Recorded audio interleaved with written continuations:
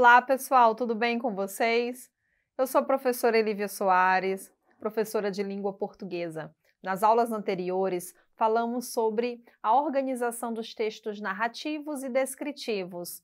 Hoje, vamos trabalhar um pouquinho sobre gramática normativa.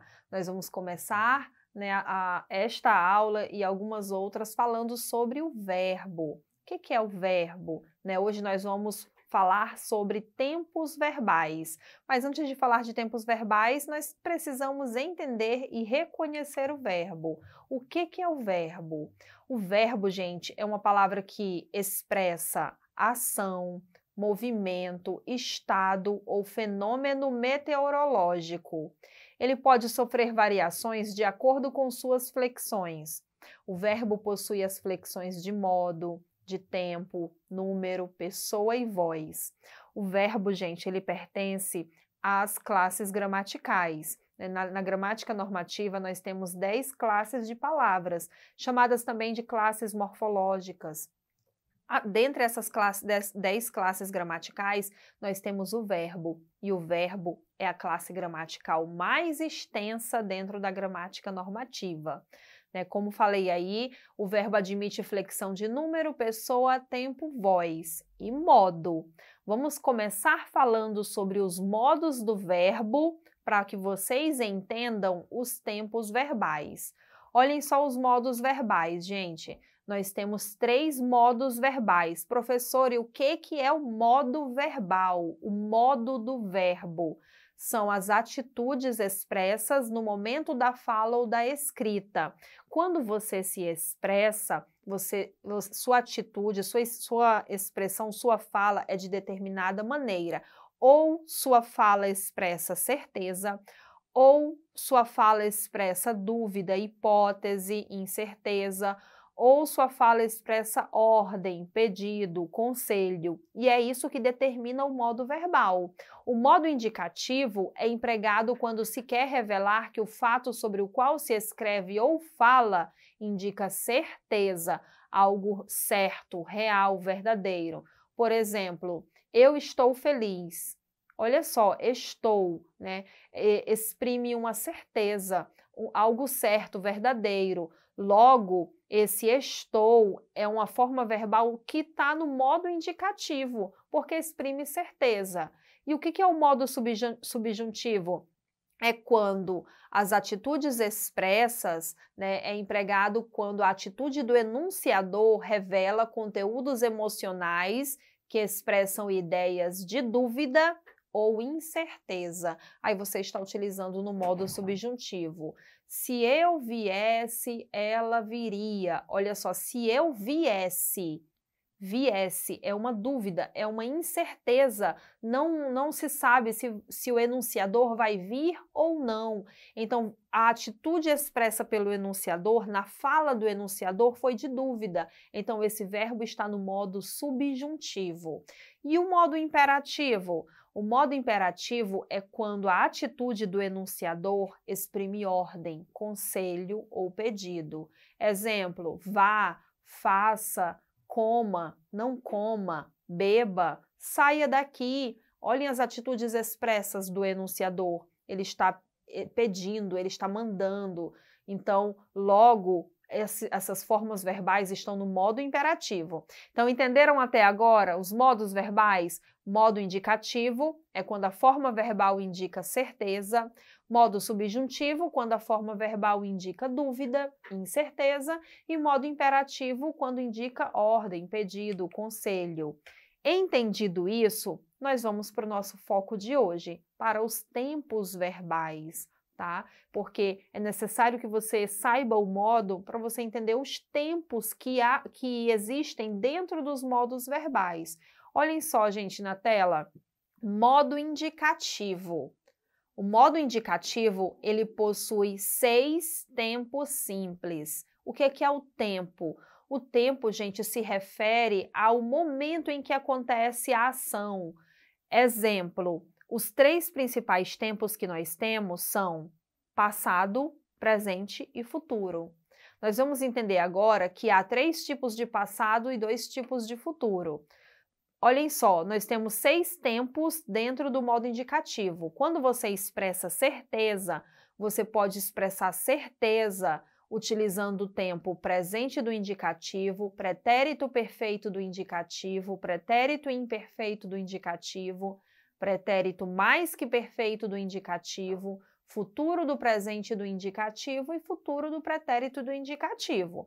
Vamos entender. O primeiro, o que é o presente do indicativo? O presente, gente. Presente é algo que acontece neste exato momento ou que acontece habitualmente, é comum acontecer. Olhem um exemplo: eu ouço música. Não estou fazendo isso agora, mas a forma verbal ouço é, é tempo verbal, está no tempo verbal presente, porque é algo que acontece habitualmente, cotidianamente. Então, eu ouço está no tempo presente do modo indicativo. E os pretéritos? Pretérito significa passado. Temos três tipos de pretérito. Vamos ao primeiro. Olhem só, aparece aí na terceira linha de vocês. Pretérito perfeito do indicativo. Pretérito é passado. Pretérito perfeito, ele é perfeito porque é um passado que se acabou. É um passado concluído. Olha o exemplo. Eu ouvi música essa ação certamente já ocorreu, ela se concluiu. Então, essa forma verbal aí destacada, ouvir, está no pretérito perfeito do indicativo. É uma ação concluída, acabada. Abaixo, nós temos o pretérito imperfeito do indicativo. Por que, que esse passado ele é chamado de imperfeito? O sentido, gente, que ele traz é de que no passado essa ação ela se prolongou determinado tempo ou ela se repetiu. Olhem só o exemplo. Eu ouvia música. Ouvia é passado. Eu ouvia música. E esse passado, ele se prolongou. Significa que eu ouvi música mais de uma vez no passado. Esse, esse, esse passado, essa ação de ouvir música, ela se repetiu no passado, como eu brincava no parque. Passado brincava, só que esse passado dá a ideia de que eu fiz isso mais de uma vez. Logo, é chamado de pretérito imperfeito do indicativo. O passado que ele se prolonga ou que ele se repete no passado. E nós temos abaixo, gente, o pretérito mais que perfeito do indicativo. Gente, o pretérito mais que perfeito do indicativo é comum nós encontrarmos muito essas formas verbais nesse tempo nos textos literários, em textos é, mais antigos. Na linguagem que falamos né, no dia a dia, na atualidade, não usamos o pretérito mais que perfeito tá? Mas é importante que você entenda, né, que o pretérito mais que perfeito, ele é pretérito, então ele é passado. E ele é mais que perfeito porque ele aconteceu anterior a uma ação passada. Ele aconteceu antes de algo já passado. Eu ouvira música, ouvira. Então, a ação de ouvir música foi anterior a outro passado. É um passado muito distante, tá? Quando entrei na sala, a moça limpara. Significa que eu entrei é pretérito perfeito, ação concluída. A moça limpara significa que antes dessa ação de eu entrar aconteceu algo antes. A moça tinha limpado. Usamos o tinha limpado, tinha feito, tinha comido, tinha chegado, né? Usamos esses tempos compostos no lugar do tempo simples, né? Atualmente na nossa linguagem. E temos dois tipos de futuro no modo indicativo: o futuro do presente e o futuro do pretérito. Futuro, algo que ainda vai ocorrer o futuro do presente, ele vai ocorrer certamente. Olha o exemplo, eu ouvirei música. Essa ação certamente vai ocorrer, eu ouvirei música. Né? Então, chamamos de futuro do presente. Agora, o que, que é o futuro do pretérito? Como assim, professor? O futuro do passado. Gente, o futuro do pretérito, ele é um futuro que ele foi impedido que ele era certamente para ocorrer, mas que ele foi impedido. Então é por isso que ele é chamado de futuro do, do pretérito. Olha só, eu preciso ter outra oração. Eu ouviria música se o meu celular não tivesse quebrado. Eu ouviria música. Essa ação certamente era para ocorrer, mas ela não vai ocorrer porque algo impediu. Meu celular quebrou. Então chamamos de futuro do pretérito. Tá? A ação que era para ocorrer, porém foi impedida por algo. Você vai observar iria, ouviria, buscaria, buscaríamos, iria. No futuro do pretérito, nós temos essa desinência, né? Duriria. Agora, gente, entendido esses seis tempos né, que aparecem para vocês do modo indicativo, vamos aos tempos do modo subjuntivo. No modo subjuntivo, gente, nós vimos ainda há pouco que o modo subjuntivo é quando a forma verbal expressa incerteza. Quando você expressa incerteza, o enunciador expressa incerteza né, na sua fala, ele pode usar três tempos simples. Olhem só aí embaixo: presente do subjuntivo, pretérito imperfeito do subjuntivo e futuro do subjuntivo. São esses três tempos do modo subjuntivo. O que, é o presente do subjuntivo? É o presente, só que ele é incerto, como o próprio modo fala talvez eu ouça música, né? É algo no presente que é incerto de ocorrer. É, que eu ouça, que tu ouças, que ele ouça música. Então, é, esse, essa forma verbal dessa frase que aparece você, para vocês está no presente do subjuntivo, porque é um presente que expressa um fato incerto. E o pretérito imperfeito do subjuntivo?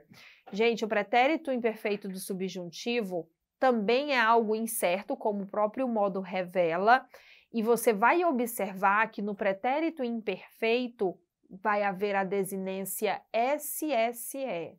Seria mais divertido se eu ouvisse música. Né? Vejam que é um pretérito aí, um passado incerto, né? que foi que era para ter ocorrido, é, que não ocorreu, e foi incerto, dependia de outro. Seria mais divertido se eu ouvisse música, se eu falasse línguas, se eu cantasse bastante, se eu chorasse pouco. Então, olha só, chorasse, chorássemos, buscasse, você vai encontrar essa desinência, SSE.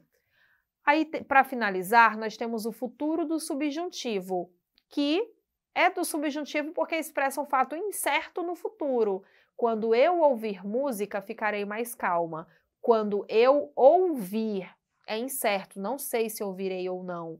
Então, quando eu ouvir, futuro do subjuntivo, quando eu falar, quando eu trouxer, quando eu buscar, quando eu puder, expressam fatos que no futuro são incertos, por isso o futuro do subjuntivo.